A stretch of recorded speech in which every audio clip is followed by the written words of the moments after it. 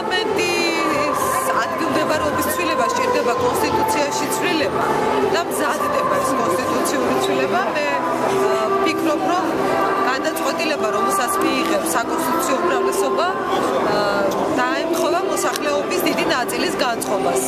და შეუძლებელია იმ შენობაში რომელიც დღემდე ექსპლუატაციაში შესული არ არის გაურკვეველია მისი სტატუსი და არ არის მზად საპარლამენტო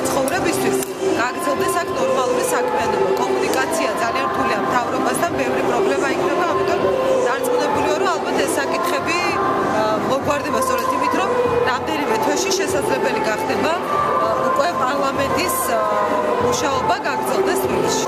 ამას ჭირდება დაახლოებით ალბათ 6 თვე